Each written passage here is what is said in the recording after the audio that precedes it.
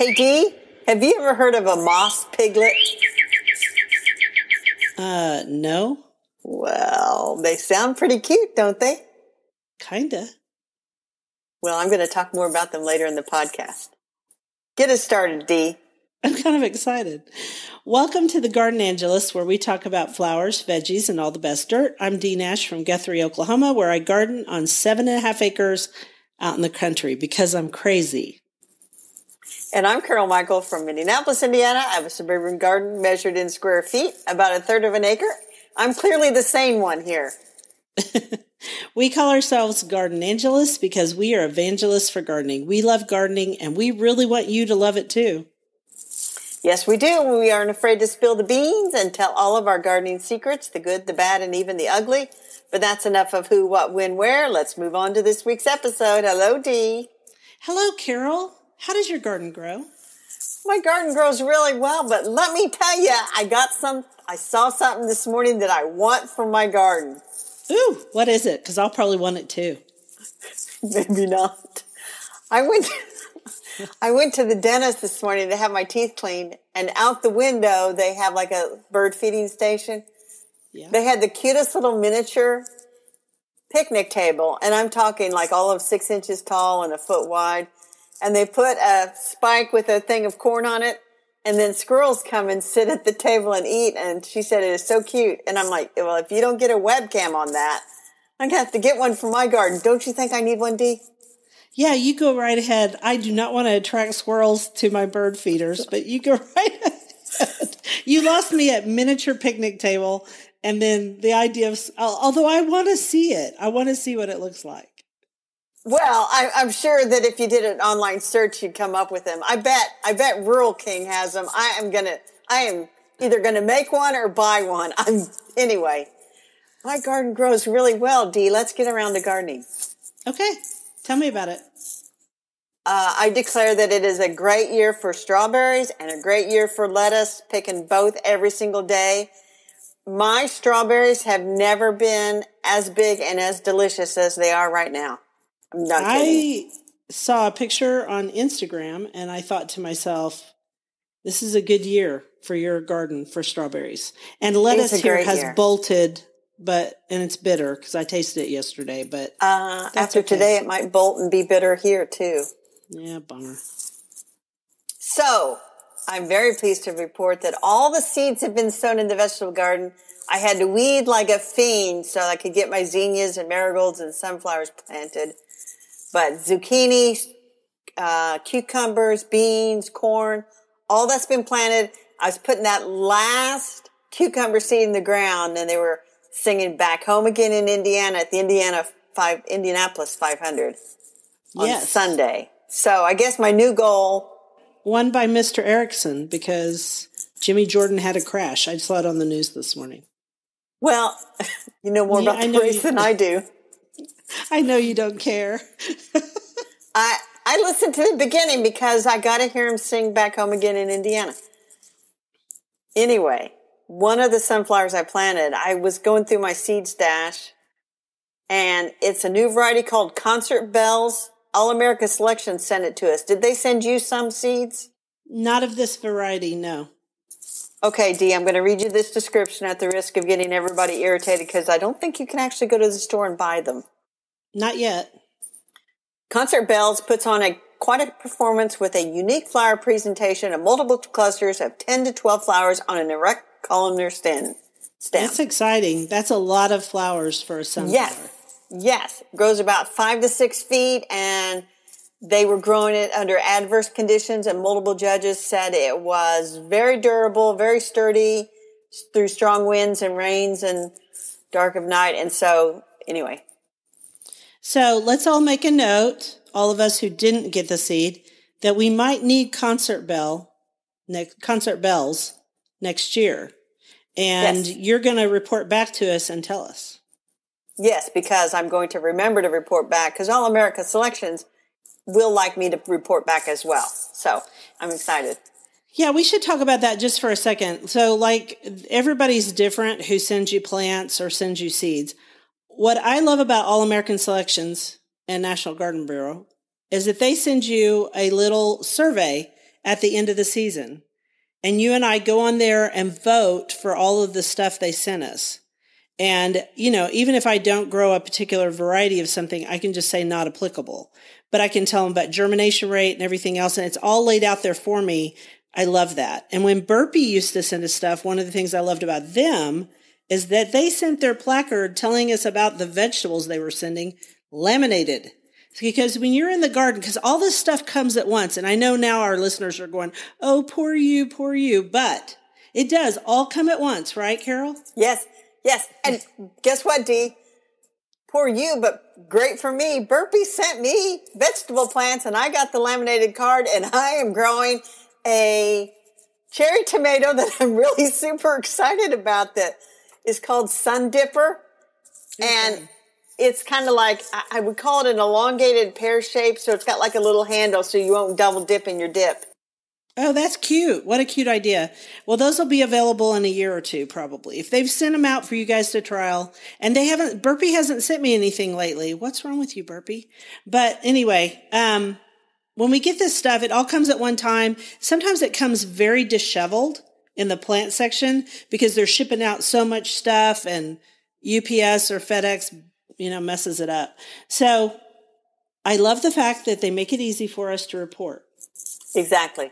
Anyway, and the other thing, when this podcast episode drops tomorrow, yes. June the 1st, yes, will mark six years since I retired from my corporate IT job. And look at the smile on her face. You all can just imagine it. Congratulations, Carol. I'm really glad that you retired because we get to talk more. That's right. Now tell me about your garden. Oh my gosh, I worked so hard in the garden this week, especially Friday, Saturday, Sunday. I took off Monday and worked in the house so hard because it was windy. I mean, it was so windy that even I couldn't stand it. Um, so Friday, I'm going to break down the days. Friday, Bill and I rebuilt the sidewalk that washed away next to the garage. This is the second time we've rebuilt it this year. We had a mole problem. And we finally, with that five inches of rain, it showed the entire trench. And so Bill brought in all of this soil to put back into the trench. So my backyard doesn't look real great right now, but that's just life. And then next to it, we rebuilt the sidewalk. Um, and that's not easy. It's a brick sidewalk and we had to put in more sand and it was it's a long story but bill and i got it done. And then um, we filled in so we already had topsoil in the upper pasture. That's why we were able to do that so fast. And we have a tractor. Right. Then on saturday i bought more of the landscapers mix mulch which you can find at lowes. It's happy glow uh, h-a-p-i-g-l-o and it is wonderful stuff because it is um, shredded pine bark but it's the little tiny pine bark pieces. Like each yes. one of them is maybe a quarter inch. So when you put that on top as mulch, it doesn't impede seeds entirely unless you put it on pretty thick, but the worms work it down in the soil really fast. And that's one of the secrets to good soil. Um, so Saturday I bought more of that for the tiered borders because they needed some. And I dug out tons of Rudbeckia goldsturm. I filled two big carts full. Oh yeah. took it down to my compost pile and it likes to take over here. I'm not saying it's a bad plant. It's just not, it's not a good plant here. In its place, I'm going to plant Will's Wonderful Mums. I actually was out there with my spade when you texted me and said you were ready to record. Cool. So they're all placed and ready to go. Um, Will's Wonderful also is a spreader, which I'm going to write about this week on the blog because I already have it partially done. But it's really easy to pull up. But let me just let me just say something to you and to our listeners. Last week you said you had no place for Will's Wonderful Mums. This week suddenly you got places for Will's Wonderful Mums. I told you. Because I because I dug out a ton of Goldsturm. well, I, I, have you. more to dig out. I told well, you you yeah, have room. But, yeah. Okay. I wish you were here to help me dig it all out. All no, right, I wish you were here on, to help me weed. Yeah, well, I'm not in spirit. Then on Sunday, I um, had a we had late mass because it was Father Novak, our our priest. It was his 25th anniversary on Sunday. Congratulations, Father Novak. Um, we had a late mass. And so that morning I weeded the cut flower garden beds and moved some of the zinnias around. And that's made me think I may start the zinnias indoor next spring the way I did with the nasturtiums because we have those really hard rains in early spring and I live on a little bit of a hill on that side. Right. so right. all the seed rushed down. So I ended up replanting the dumb things anyway. And it, they might do better if I start them indoors and stay where they're put so that I know what color they are and stuff. Um, let's see. I also moved some of the sunflower seedlings around in the potager and that made them very unhappy, but I don't think they're going to die. They'll, they'll snap out of it eventually. And, um, yeah, I still haven't planted the shrubs. They're on the north side of the house and I just keep watering them. So we right, the end. we should start a little pool of some kind. Like, when do you think that Dee will actually plant the shrubs? I'm going with late fall because I know you don't plant stuff in the summertime in Oklahoma.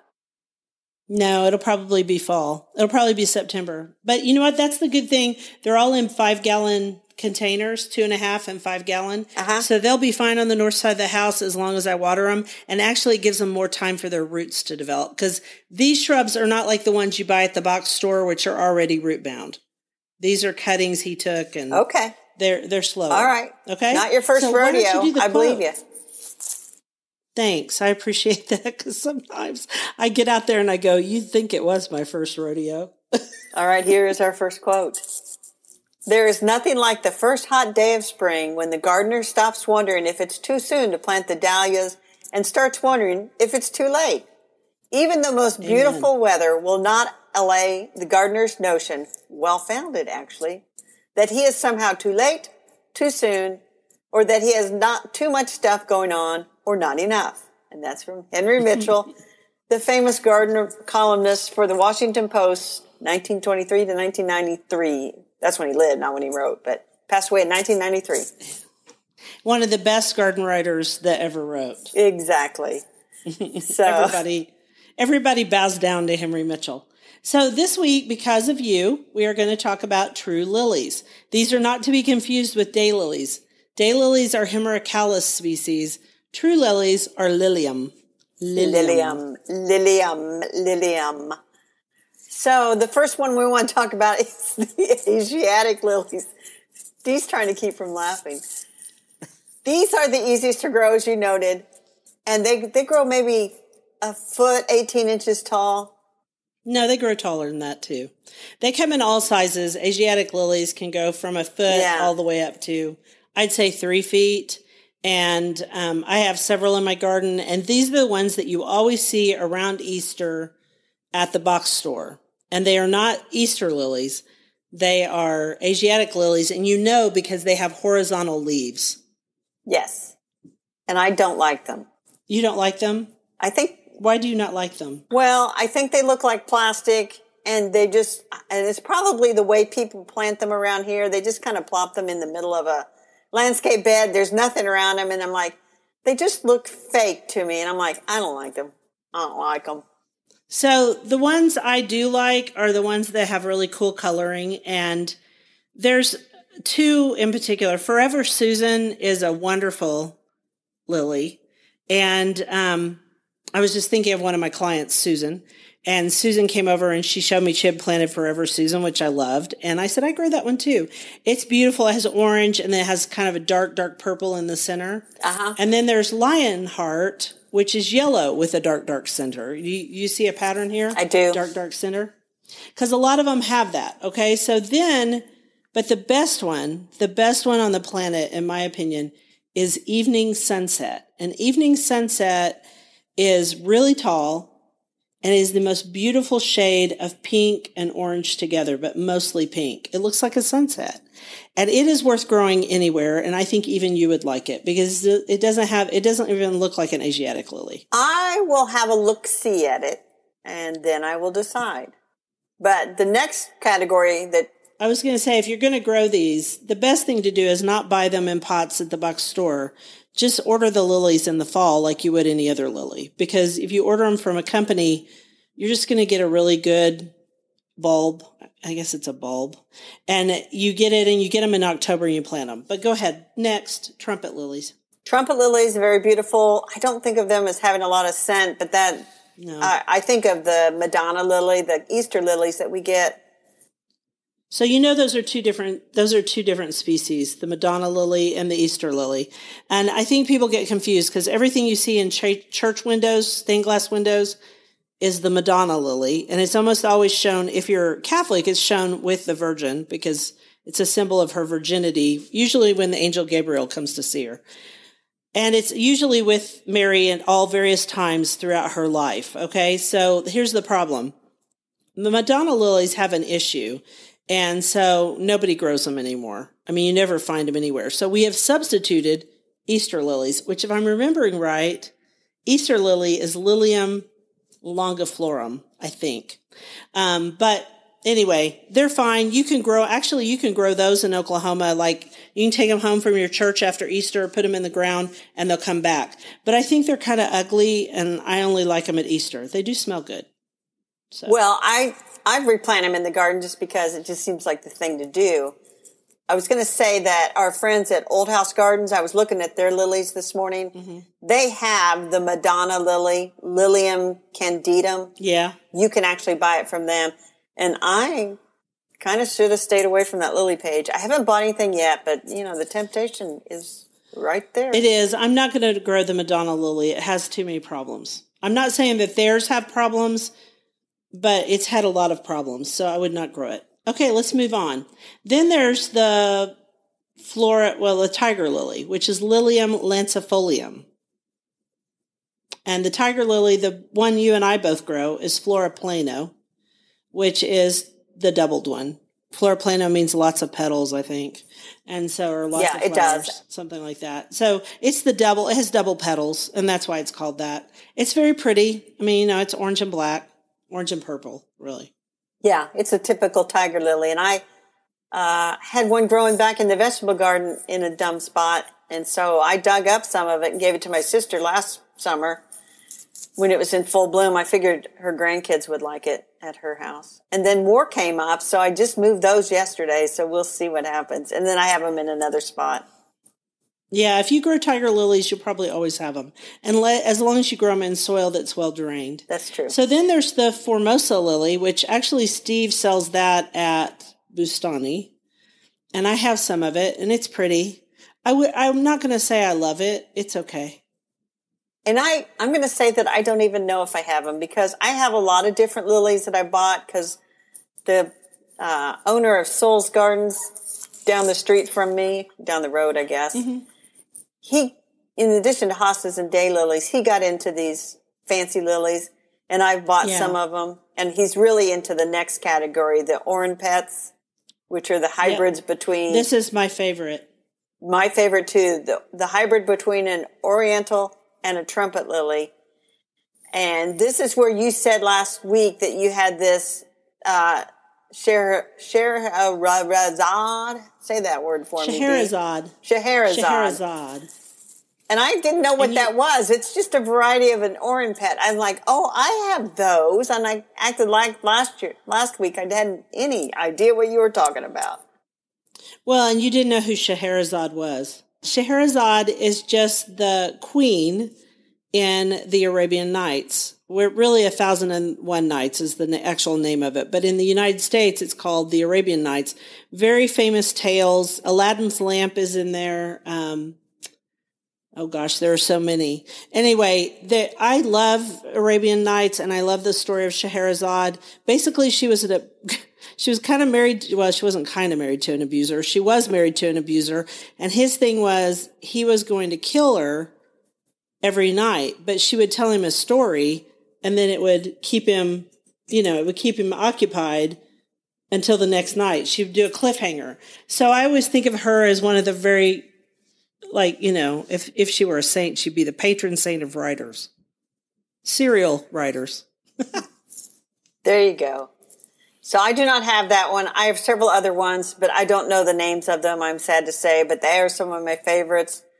Um, and I'm going to link to the Old House Gardens because they have a couple of them there. Mm-hmm. They also have another lily, the original American Turk's cap lily, which is a native. Right. Lilium superbum. Right. Or superbum.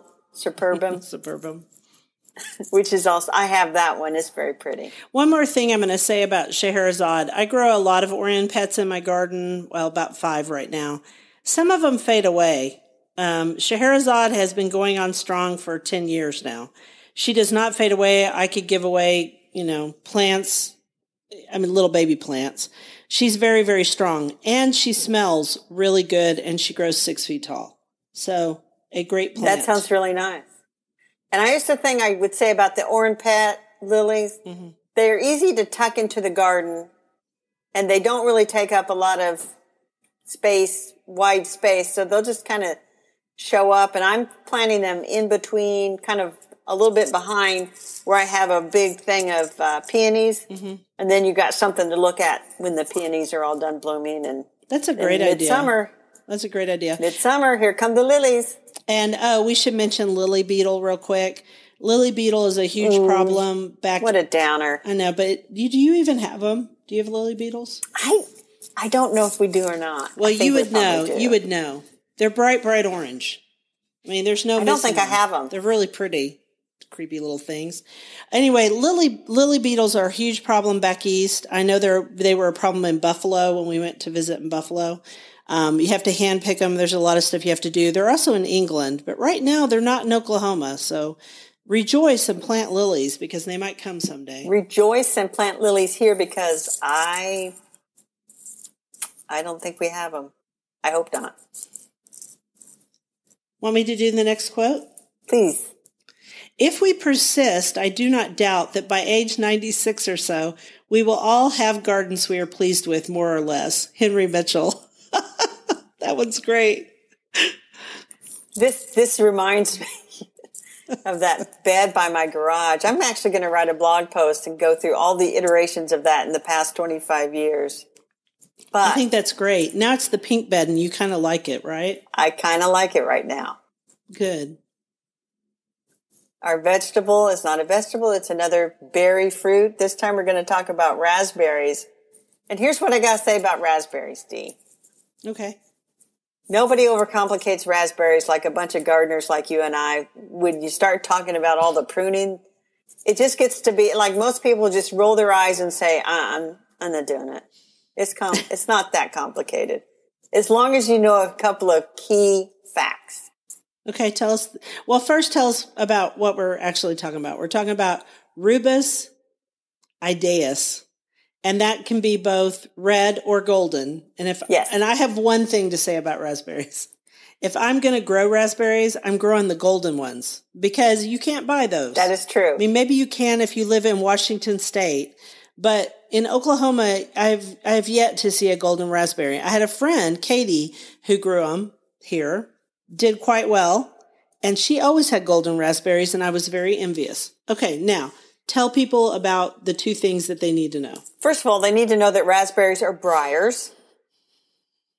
And so mm-hmm. they will spread and they will sucker and, you know, a tip hits the ground, it'll root and you can have a big, massive jumble of plant without some. Yes, you can. Some judicious pruning. And then that's the next thing we would need to tell them is there are actually two kinds of raspberries. There's the kind right. that fruits just once, and then there's the kind that they call quote unquote ever bearing, which means you'll get raspberries in June-ish time frame, and you'll get mm. raspberries in Augusty, September-ish time frame. You'll just get right. two sets of raspberries they're not really ever bearing. It's sort of like strawberries. Yeah, it's not they, like you're getting them every yeah. day all summer long. I mean, really, no. that would be that's a lot to ask of a plant. Yes. So, how do you prune them, Carol? Complicated. Okay, so this is where it gets complicated until until people remember one key fact. One one stem coming up from the ground is biennial. So the first year it comes up, it's not going to fruit. The second year it's going to come up, it'll fruit. And so you want to cut back like after the spring fruiting, you want to cut those back mm-hmm. just about in half that fruited. And then that'll grow and that'll fruit again because that's the everbearing part. And then you also want to do some pruning out in early, early spring, you know, about the time you're pruning apples and stuff, you want to get rid of dead canes and you want to get rid of canes that may be fruited at the end of the year and you can see the little uh, the the Mm-hmm. skeletons of the blooms and stuff. You want to cut those out because those aren't going to bloom again, or they're not going to bloom and flower. Right, because you because you don't want those stems sucking away energy from the plant because they don't do anything except for grow and become a tangled mess because Right. they are thorny little boogers or prickly. Really, they're not really thorns; they're actually prickles. I think, just like um, roses, but doesn't matter. The point is, they hurt. Oh, yeah, we forgot to mention the thorns, the pricklies. and so, as with most things, raspberries like the sun and they like well drained soil. And so, if you have a raised bed, you can actually grow a little stand of raspberries in raspberries, raspberries in a raised bed. They would. I was thinking that's fine. Raspberries works. So I will admit I grew some raspberries for a year or two, but I did not do a good job of managing the the bed of them and they were mm-hmm. not in the greatest soil and they didn't really kind of they didn't really take hold. Okay. And so I thought, oh, this was another good idea that wasn't such a good idea. So out they went, but I would be willing to try them again. I'm not. And so Dee's like, yeah, go for it, Carol. I'm not doing it. I have more to take care of now than I know what to do with, so I don't need anything else. I think next week we should talk about goji berries. We can. I know nothing about goji berries, so that would be the perf. That's that's the perfect topic. Great. We will talk about them next time. So that's so I will also say that raspberries love uh, love compost. They love compost and they would love for you to put it all over them and plant it around them and yeah, cuz they kind of like a rich not super rich soil, but they really like a good aerated soil. So I am not growing raspberries. I'll just envy my friends' raspberries. Yeah. The other thing you want to do is you want to make sure to wash your berries really good because spider mites. I always seem to have spider mites and things on them. So wash them really good. Soak them in water. Drain the water. Soak them in water. Drain the water. And these are making all kinds of faces. Yeah. Soak them real good and get you know let the little critters go away. I think I'll just eat raspberries from the store with chocolate. We have convinced nobody to grow raspberries, Dee. No, no, we haven't. But you know what? Maybe we've saved some brand new gardener from thinking, yeah, I need every, because that's what happens when you're new. You think, I need blackberries and raspberries and elderberries and goji berries. And yeah, you do not need all those things. Start with one. Yeah, I might grow raspberries again. Might grow. You go for it. All right, I'm going to do the next quote. Almost any garden, if you see it at just the right moment, can be confused with paradise. Also, Henry Mitchell. I'll say this about Henry Mitchell. He's absolutely right. And all those magazines I used to read all those years, you, you begin to think there's something wrong with you because your garden doesn't look that way. Ha. Those are taken on a really, really good day. Very carefully taken. So, our book this week is called mm-hmm. Garden Allies The Insects, Birds, and Other Animals That Keep Your Garden Beautiful and Thriving by, and I'm sorry to mess up her name, Frederique Lavoipierre. Lavoie Pierre. Illustrations by Illustrations by That Craig sounds Latker. pretty good. This Dee is a most interesting book. I will hold it up so you can see the cover. I don't have it, so she's got to talk about it. Go for it, Carol. Tell us. And so it says insects, birds, and other animals. I will tell you that it is probably 90% insects. Okay. And it starts off with microscopic organisms. And that is what a moss piglet is. it's a microscopic eight-legged creature that looks a little like they said a bear. And so it has the common name of water bear or moss piglet. Huh. And the actual, it's actually what they call a tardigrade, which I had never heard of. And it's found in soil and moss and lawns, and it feeds on protozoa and other little organisms, including like nematodes. Um, they have the ability to shut themselves down and then reanimate themselves years later. And so, Dee, you know, I don't have any pets, but I think I'm going to get a little vial, put a little speck of dirt in it, and tell people, you know, you want to see my moss piglet? You're crazy. That's my new pet, my new pet moss piglet. Anyway, I'll tell you, Dee, I'm I'm through the chapter with the moss piglet and heading on down. This book is full of really good information, and it's it's written in a very interesting manner. So the author says, read it from the front to the back. You're tempted to like go to the chapter on wasp or the chapter on spiders. Not some people aren't, but um, A lot of she says read it through because she kind of builds on information as she goes. And so I am going to read it through in order. Um, and I think I will thoroughly enjoy it. So I have a question. yes. Who is she? This lady that wrote this book.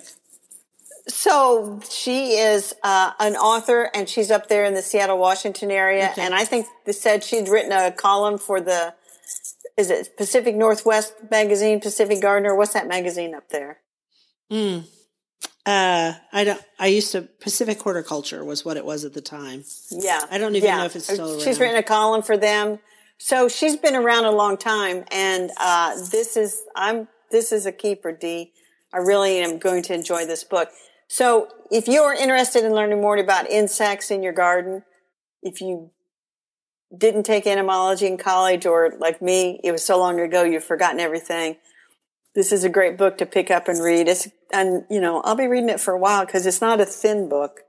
So no, it'll take you a while, but I see you've marked a bunch of pages, which I love. Um, it said you said in here. Plus, once you read this, I'm pretty sure you won't pick up an insecticide for your garden ever again, and I mean that in a good way, not a preachy way. Yeah, So the more we understand, the more we do the right thing. Maya Angelou said that. Yeah.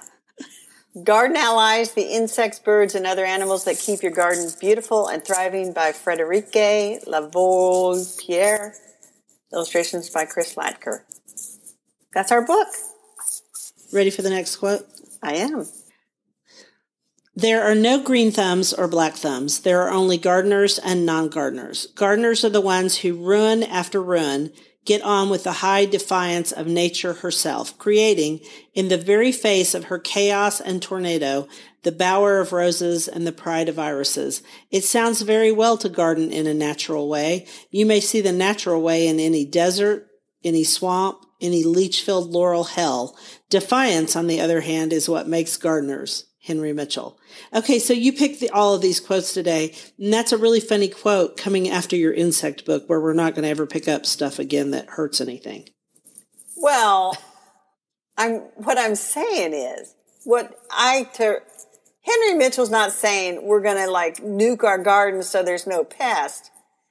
He's saying Some of us do. He's saying, you know, like I think he would think that's like no mow May that we talked about last year, where you just let everything go natural. That's not really gardening. Two weeks ago. But you know, planting Right. out a beautiful rose bed or a perennial garden or whatever, that is defiance of nature. That's what he's talking about. I agree. That's what he's talking I about. agree. But I, th- but yeah, I mean, it comes down to perseverance. That's right. Are you willing to persevere? And, um, yeah, I've done this long enough that I pretty much am willing to persevere. Exactly. And people, I show people my mistakes too. I'm like, well, this didn't work. Yeah. But that's okay. Yeah. Um, okay, so the dirt this week is brought to us by Amy, my my BFF, and she laughs that she's my. I used to call her my non-gardening best friend, Amy, but she has houseplants now, so she can't be called that anymore. So she called. She was with us at a meeting, and she said, "What is the deal with the new name for beans?" And I was like, "I, I don't know what you're talking about." And then I went and did some research.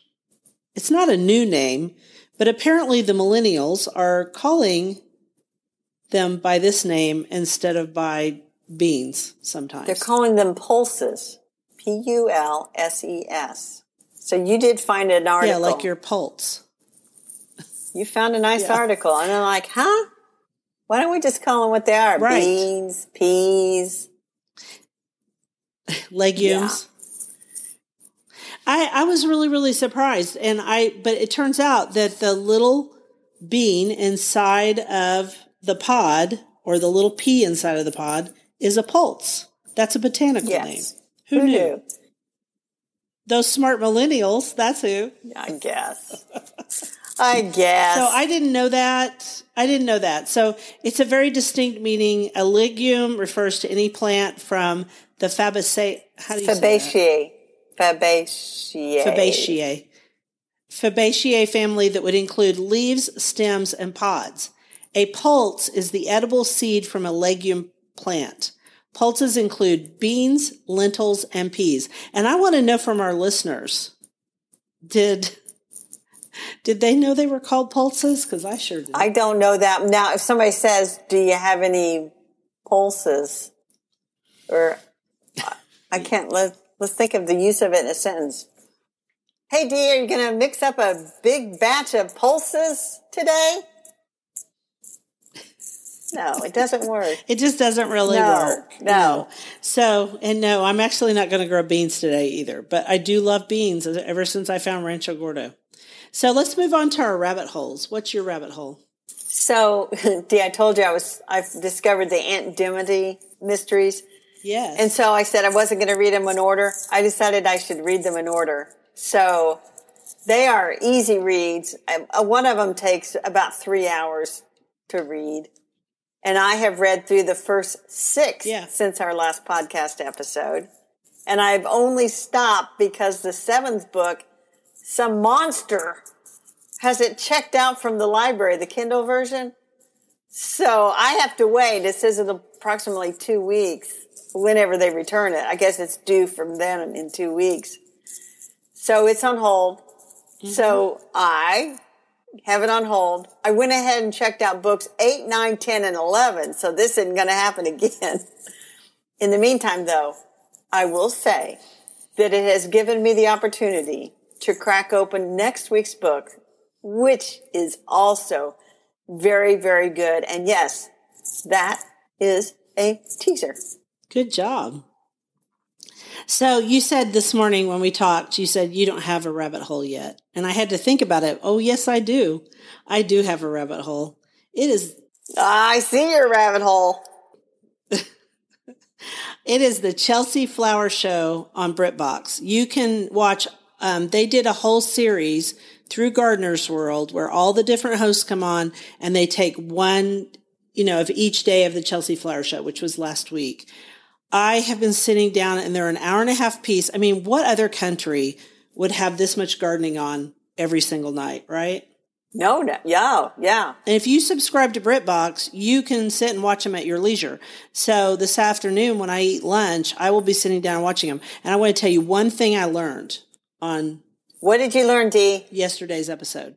So there is this there it's a family that grows um, tulips. That's what they do, and they sell tulip bulbs to people in the fall, and they grow them right in England. And they bring thirty thousand tulips to the Chelsea Flower Show, and manage to make them open perfectly in time for the show. And do you want to know how they do that, Carol? Wow, I do. They pick the bulbs when they're, you know, that moment when your tulip is closed, but you can see just color on the edges. Okay. Yes. They pick them them with their leaves. They lay them in paper that doesn't, it's not newspaper, but it looks like newsprint, like the paper before it's printed. Right, They lay it in this paper. They wrap them unwatered in this paper and then they put them in a cold storage area and then they check all 30,000 every other day to make sure they aren't rotting. Okay. So they keep them in this cold storage area, not freezing, just cold enough. Just it's, they said two degrees, which whatever that is in Fahrenheit. So they go in there and they check each bundle every other day. And this, this starts three weeks before. All right. They keep them that way. And then the day of the show, the day that it's going to be done, they take those tulips and they plunge them into water because they dry out to where they're almost silk. He said, he said they're like, they feel like silk and they look like silk, like a tapestry. So then they stick them in water. They suck up the water immediately and they bloom open. It is the most Wow. amazing thing I've ever seen. That is kind of how I do the peonies, which I can't of, do yeah. now because they've all bloomed out. That's kind of the same thing, except I can't imagine 30,000, but you would have to have help for that. Yes, their whole family does it, and um, they take great pride in it. And then they also plant. Uh, well, they don't plant them; they give or sell forty-five thousand bulbs to um, a garden nearby so that people can see them in the garden setting and in the showcase setting. And this isn't this isn't to like win awards. They bring them because they're bulb sellers. Very nice. And one they talked about that I have never seen before, and I actually wrote with my friend Jamie Ashmore, and he hasn't written me back, but um, it's called Texas Gold. So everybody look up Texas Gold. That's a very interesting tool. Texas Gold. I will have to look that up. Well, and you'll be we'll be inundated if you like I watch YouTubes and stuff. There'll be all kinds of YouTubes and stuff popping up about the Queen's Jubilee celebrations taking place this week. That's a big deal in yes, England. Thursday. Huge big Yes. parties going on for that. Well, 70 God bless the queen. I'm telling you. Whether you like her or don't, you have to admire the way she's stuck with it all. Who doesn't like the queen? I mean, they may not want the royalty anymore, some of them, but goodness, she's been a stalwart, stalwart person. Henry V would think a lot of her. I believe that he would. And so I will be checking out some of those YouTube videos and things about the Queen's Jubilee. I think that'll be very, very interesting. So let's move on to garden commissions. Dee, what you doing this week? You wrote on the show notes you were going to plant those shrubs. We already talked about you're not planting those shrubs. I'm not planting those shrubs. It, the ground's going to be too hard. I thought maybe if I could get them in today before the rains come tonight, that'd be awesome, but that isn't going to happen. I got too much to do today. So I have I have three daylilies I bought last year that really need to go in the ground and they need to go in. You're really supposed to plant daylilies in April and September. So I'm getting ready to move those pots back over next to the shrubs. Um, and I want to say, I normally don't do this where I have this much stuff that I need to plant. I normally get all planted. I just can't decide. Well, anyway, those are my excuses. All right. I need to pull out my lettuce that's bolted. Boo. I bolted too fast and I'm really sad about it, but that's okay. You could leave your lettuce to flower for the bees because a lot of people do. Yep. I will not be doing that because I really want to do my sunflower thing and I've got the sunflower seeds already planted and I need to move a few more plants around and keep them well watered before I go out of town. So I want to see those sunflowers. So I'm going to pull it. And that Very nice. And I'm going to and I already said I'm going to plant that Will's wonderful. I I also have a frost flower that I'm going to plant. Those will be fine. And then uh, two salvias. That's what I'm doing today. I moved a big clump of daylilies yesterday because, again, it's in this border, which is really where the zinnias go. And I thought, you know, They need to I must have at one time thought I was going to do perennials back there, but I moved that thing yesterday and I thought, you know what? Live or die. You, it's up to you, mm, plant. They'll be fine in your climate. It's just our climate gets Yeah. so hot and you have to shade them and stuff. So they do fine in pots and I'll just, and that way I can watch them bloom because some of their tags blew away. It's a long story. I know. So I have a couple of Emerald Towers basils to plant. I have the containers. They have the last of some violas. So out they go- and in go the Emerald Towers. I also have this old wheelbarrow that I sometimes just leave on its side and like call it a garden sculpture. and sometimes I put it upright like this year and I planted a bunch of pansies in it. Big surprise.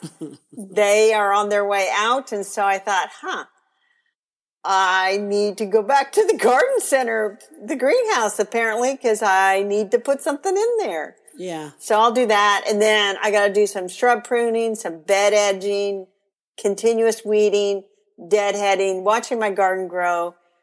You know, when this drops, it's June the 1st and it is like full tilt gardening season. Collective sigh that everything's planted that really absolutely wanted to be planted Right. collective sigh that if we had a frost now, it'd be, you know, like an apocalypse. It's not going to happen. And, uh, just going to spend those hour a day here, an hour a day tomorrow, an hour a day the next day and do I- what I can. I thought of one more thing. We need to Chelsea chop or Indianapolis 500 chop. It's time. You remember we Uh, were going to yeah, talk it's about that time here. Yeah, we were going to talk about that, and then um, so I did. So everybody start chopping back your perennials in both our climates because they're starting to grow really tall. The asters are getting ridiculous, and just a lot of things. So cut those back now, but don't. But I like what you said at the very end of this, so you need to say that. What did I say at the very end of it? You said this is definitely the time of year to remember to just go out and do something for an hour or so. Do not put too much pressure on yourself to garden until you drop. That's right. Good advice. Thank you. And with that, we want to thank you for listening to the Gardenangelist. If you like our podcast, please tell your friends about us. Also hit the subscribe button so you don't miss anything. And if you listen to Apple Podcasts, we'd really appreciate a five star review. It helps us get noticed by others because it all works on an algorithm. Could you also share our podcast with our gardening, with your gardening friends? Word of mouth is still the best way to get the word out there. And now when I go places, I tell everybody we have a podcast. Everybody. Yeah, that's a good idea.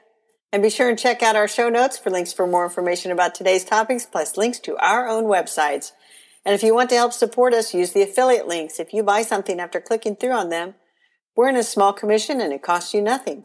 It was lovely to chat with all of you over the garden gate today. Bye until next week. Goodbye, everybody.